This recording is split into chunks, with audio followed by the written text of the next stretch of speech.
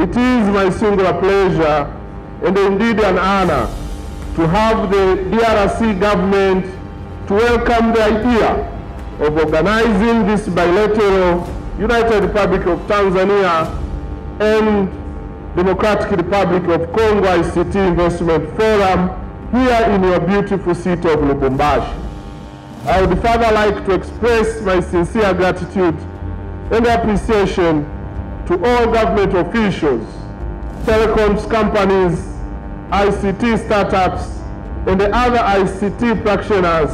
and the partners from various sectors who have been gathered here today for their commitment and participate and support this joint initiative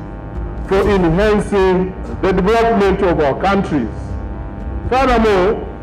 the summit sets a new history of cooperation not only in the ICT sector but in all sectors, as it is the first of its kind to be jointly organized by the two countries in the East African Community and Southern African Development Cooperation, SADC. This conference is primarily in line with the two communities' objectives of promoting bilateral trade. This for us is a matter of pride, and the experience from this conference will be beneficial to all African countries.